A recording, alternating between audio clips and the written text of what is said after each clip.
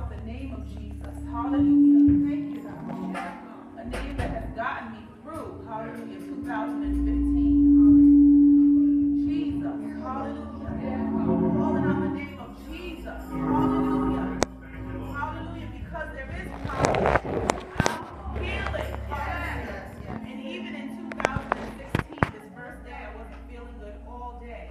And I found myself having to call on Jesus. Hallelujah. I had that headache that Pastor was talking about. And I'm not one for medicine. It took me a while and I finally took it. But it took the name of Jesus. Hallelujah. To even get me out to be able to come today. And I thank God for healing in the name of Jesus.